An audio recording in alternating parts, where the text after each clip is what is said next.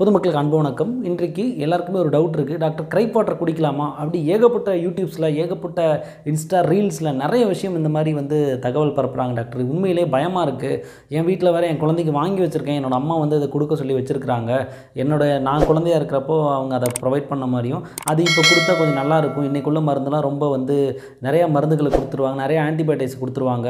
அதனால் அதை வச்சுருந்து அதை கொடுக்க சொல்கிறாங்க என்ன டாக்டர் பண்ணலாம்? இன்றைக்கி இந்த யூடியூப்ஸ்லாம் பார்த்தோன்னா ஒரு பயம் இருக்குது அதை பற்றின தெளிவான ஒரு விளக்கம் சொல்லுங்கள் டாக்டர்னு காலைல ஒரு பேஷண்ட்ஸ் கேட்டிருந்தாங்க.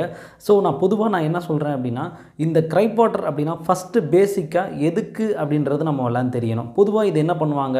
ஒரு குழந்தை ரொம்ப அழுதுகிட்டே இருக்குது அப்படின்னா பொதுவாக அதுக்கு வயிறு சார்ந்த பிரச்சனைகள் இருக்குது வயிறில் ஒரு அழுத்தம் இருக்குது வயிறில் ஒரு வலி இருக்குது இறுக்கம் இருக்குது கிராம்ப் இருக்குது அதனால் அதை ரிலீவ் பண்ணுறதுக்காக இதை பயன்படுத்தினாங்க அப்படின்ற ஒரு வழக்கம் இருக்குது பொதுவாக இதில் இருக்கக்கூடிய இன்க்ரீடியண்ட்னு பார்த்தா உள்ள கலப்பு பொருள் சதகுப்பை அப்படின்னு சொல்லக்கூடிய ஒரு மூலிகையோட எக்ஸ்ட்ராக்டை தான் அதில் வந்து ஆட் பண்ணியிருக்கிறாங்க. ரெண்டாவது ஆயில் இருக்கும். மூன்றாவது சீனி நம்மளுடைய சுகர் வந்து அதில் ஆட் ஆகிருக்கும் சரியா? அப்புறம் இதுக்கு இதை வந்து ப்ரிசர்வ் பண்ணுறதுக்கு கூட ப்ரிசர்வ் பண்ணுறதுக்காக ப்ரோனோஃபால் அப்படின்ற ஒரு ப்ரிசர்வேட்டிவும் இரண்டாவதாக சோடியம் பென்சோயிட் அல்லது சோடியம் பைகார்பனேட் மெத்தில் பேரஃபன் அப்படின்னு சொல்லக்கூடிய இந்த விஷயங்கள்லாம் இதில் ஆட் ஆகிருக்கு இந்த சதகுப்பை அப்படின்ற ஒரு ஹேர்ப் வந்து தாராளமாக நம்ம வீட்டில் அடிக்கடி இதை வளர்த்து நம்ம இதை வந்து சதகுப்பையை வந்து இலைய கஷாயம் அந்த பூவை வந்து கஷாயம் போட்டு குடிக்கிறது இந்த மாதிரியான விஷயங்கள்லாம் அதை வந்து தாராளமாக செய்வாங்க. இல்லை சதகுப்பை அந்த இதை வந்து அந்த சீட்ஸ் மாதிரி அந்த விதைகளையே நம்ம வந்து அதை பொடி பண்ணி நம்ம சாப்பிடக்கூடிய வழக்கங்களும் இன்றைக்கு இருந்துகிட்ருக்கு பொதுவாக நான் என்ன சொல்லுவேன் அப்படின்னா இந்த இதில் அந்த சதகுப்பை அப்படின்றது எந்த விதத்துலேயும் இது டாக்ஸிக் உண்டாக்குமா அப்படின்னா அது உண்டாக்காது. கூட சீனி வந்து எக்ஸசிவான சீனி வந்து சுகர் வந்து போகிறது நம்ம உடலுக்கு ரொம்ப பாதிப்பு தான்.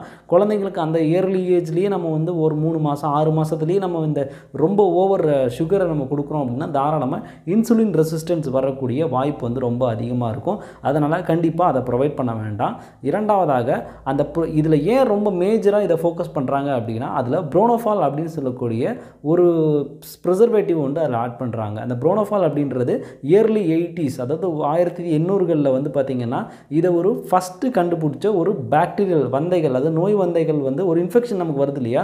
அந்த இன்ஃபெக்ஷன் ஆரிஜினை வந்து போக்கக்கூடிய ஒரு ஆன்டிபயோட்டிக்காக தான் ஆன்டிபாக்டீரியல் ஏஜென்ட்டாக தான் அதை ஃபஸ்ட்டு ஃபஸ்ட்டு அதை வந்து கண்டுபிடிச்சி அதுதான் முதல் இதாக இருந்திருக்கு.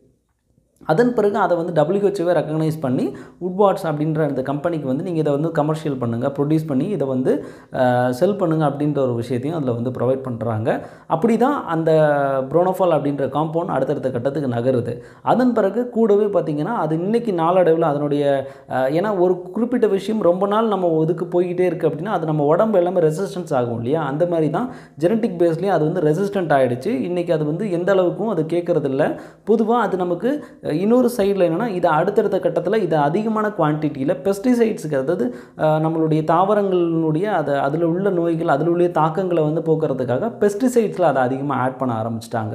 இப்படிலாம் சினேரோயை போயிட்டு இருக்கிறப்போ இது மேலே வந்து ஒரு நெகட்டிவ் தாட் வந்து வந்துகிட்டே இருக்குது கட்டாயம் இன்றைக்கி அது வந்து பயனுள்ளதாக இல்லை ப்ரோனோஃபால் அதனால் அது ஒரு நான் எக்ஸிஸ்டன்ட் நான் ட்ரக் அப்படின்ற மாதிரி நம்ம அதை வந்து எடுத்துக்கலாம். அதனால தான் இதை வந்து தவிர்க்கணும் அப்படின்னு சொல்கிறோம் ரெண்டாவது விஷயம் இதில் என்ன அப்படின்னு பார்த்தீங்கன்னா புட்டாமினன் நியூரோ நெக்ரோசிஸ்ன்னு சொல்லுவோம். அதாவது இதில் வந்து சோடியம் பைகார்பனேட் அப்புறம் சோடியம் பென்சோயிட் அப்படின்ற சால்ட் வந்து ஆட் ஆகுது. இந்த சால்ட் என்ன பண்ணும் அப்படின்னா பொதுவாகவே நம்ம நார்மலாக ஒரு உப்பு தண்ணியை குடிச்சிட்டாலே நம்ம உடம்பு வந்து நம்மளுடைய பிளட்டில் வந்து கண்டிப்பாக அது கலக்கும். அங்கே வந்து அந்த உப்பு அமிலம் அந்த சார்ந்த அந்த e, ஈக்குலிபிரியம்னு இருக்கு இல்லையா அது வந்து ரொம்பவே மிஸ்மேட்சாக இருக்கும். ரொம்ப வந்து ஏற்றமும் இறக்கமாக இருக்கும். அதை சரி பண்ணுறதுக்காக யூரின் அவுட்புட் வந்து அதிகமாக வெளியேற்றிக்கிட்டே இருக்கும். அந்த உப்புகளை வெளியேற்றுறதுக்கு இப்போ நீங்கள் இந்த மாதிரி இதுலேயே குழந்தைங்களுக்கு ஏர்லி ஏஜ்லேயே இந்த மாதிரியான ப்ரிசர்வேட்டிவ்ஸ் சார்ந்த விஷயங்களை நம்ம வந்து கொடுக்கறதுனால அவங்களுக்கு என்ன ஆகுது அப்படின்னா முடிஞ்ச அளவுக்கு தான் வெளியேற்றும் வெளியேற்ற முடியலை அப்படின்னா பிளட்டில் கண்டிப்பாக அந்த அசிடிக் நேச்சர்னு சொல்லக்கூடிய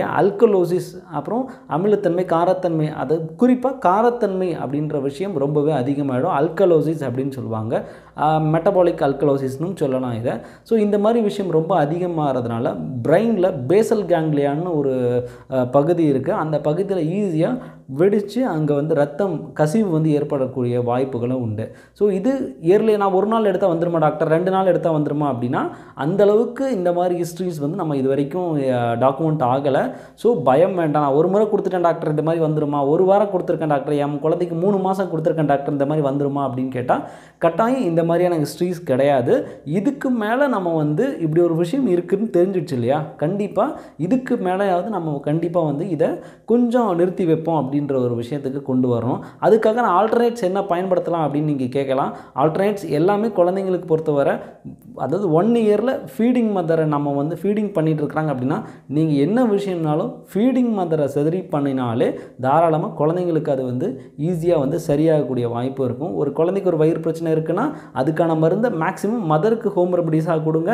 கண்டிப்பாக வந்து இங்கே சரியாயிடும். அதனால் ரொம்ப டாக்ஸிக் மெட்டீரியல்ஸை வந்து அம்மாவுக்கும் கொடுக்கக்கூடாது. ஈஸியாக நம்ம வீட்டில் நல்ல வழக்கு முறையில் இருக்கக்கூடிய அந்த விஷயங்கள் நம்ம பண்ணினாலே ஈஸியாக சரியாயிடலாம்.